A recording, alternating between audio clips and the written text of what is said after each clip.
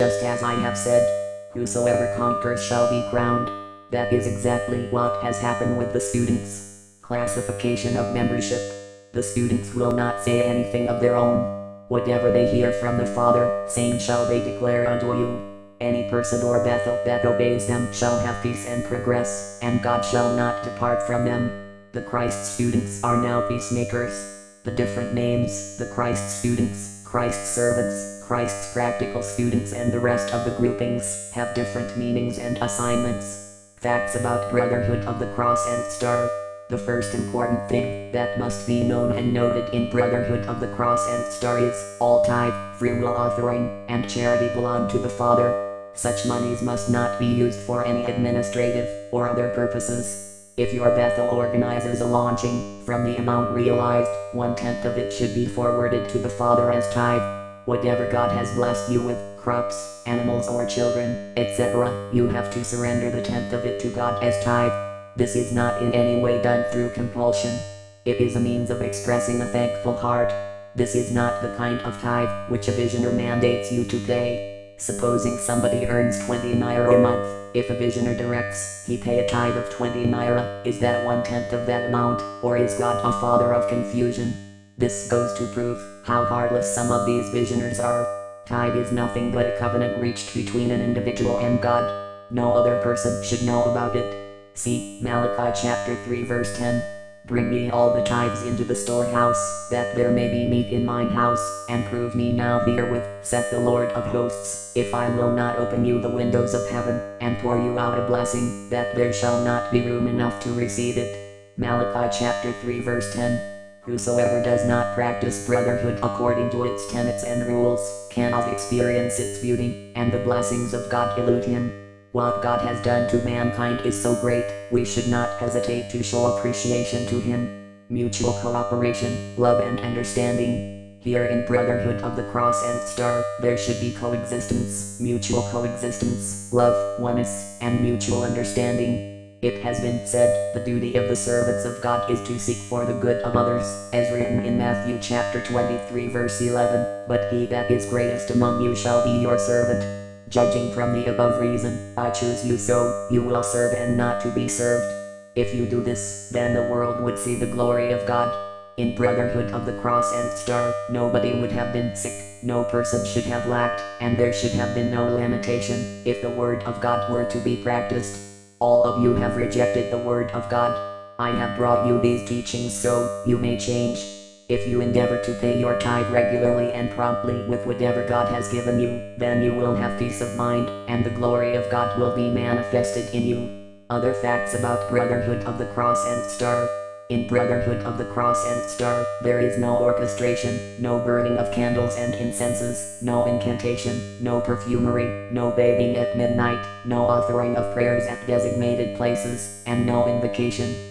Once you believe and get baptized, our Lord Jesus Christ abides in you, and you have therefore obtained salvation.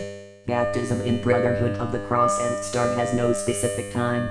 Once a person is ready for it, arrangements should be made to get him baptized. A baptized member of Brotherhood of the Cross and Star, whether man or woman, is free and have been authorized to baptize another. Many members have circumvented these guidelines and have delegated authority to themselves to baptize in their Bethels.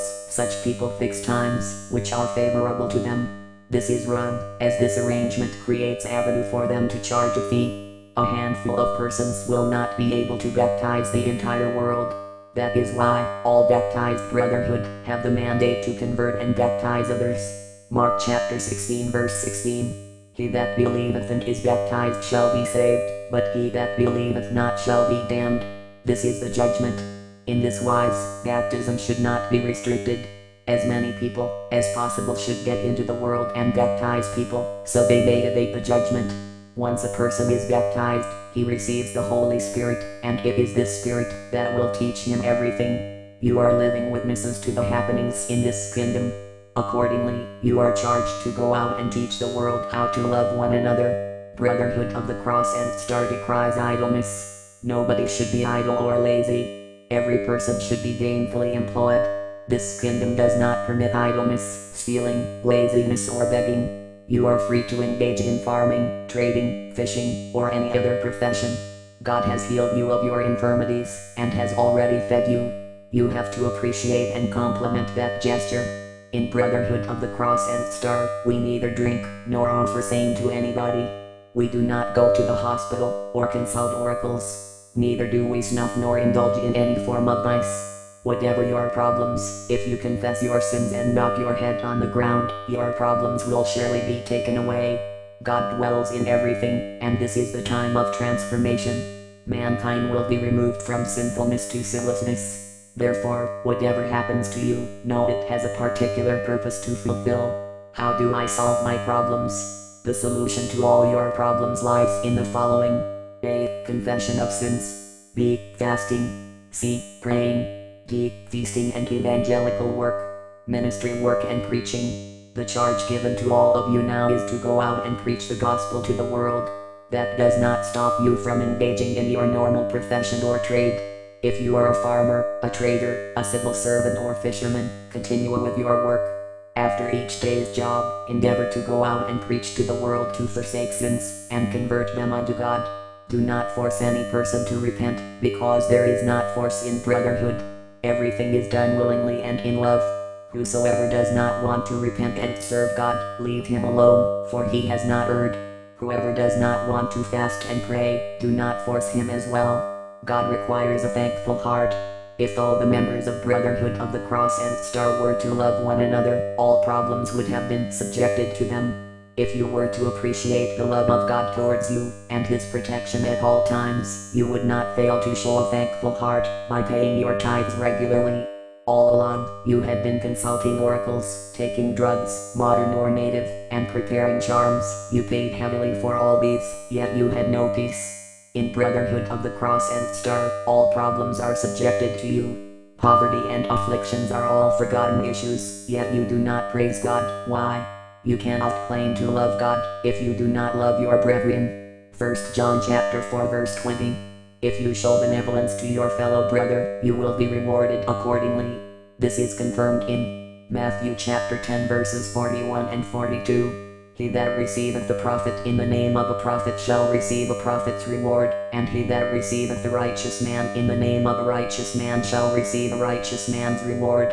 And whosoever shall give to drink unto one of these little ones a cup of cold water only in the name of a disciple, verily I say unto you, he shall in no wise lose his reward.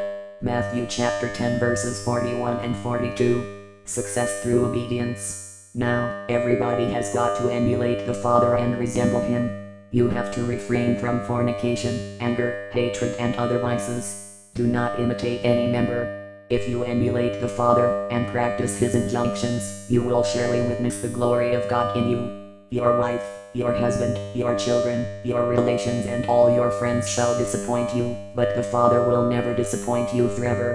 In any case, it is not the pleasure of your parents, friends, or relations to disappoint you. They, being slaves, cannot liberate you. They cannot therefore help you, because they themselves are afflicted and in need of salvation. They definitely cannot offer you what they do not possess. Nemo dat quod non habet. The Father has come to liberate you and to remove you from bondage. This is a new world where everything is new. No one should live according to the dictates of the flesh. Always listen to the Spirit. If you do whatever the Father does not sanction, it will not work out well. Whatever the Father tells you to do, do not hesitate. Do not toy with the words of the Father. Re-educate others on these facts. Your problem is, you do not heed to the Father's instruction. You stand when he charges you to sit, and when he tells you to stand, you start moving. Note very well, all things shall pass away, but not a jot of the words of God shall pass away, without being fulfilled. Matthew chapter 5 verse 18. Decentralization of Pentecostal centers. There should be no division or discrimination, no matter the multitude. You all are sheep under one shepherd. The decentralization of Pentecostal centers is done so those who cannot pay their fares to Calabar can equally enjoy the activities in their localities. This is also to fulfill the words of the scriptures which states, Go ye therefore, and teach all nations. Matthew chapter 28 verse 19. The Pentecostal centers are, therefore, no kingdoms or empires carved out for certain persons. Everything belongs to the Father. You are at liberty to attend any Pentecostal center,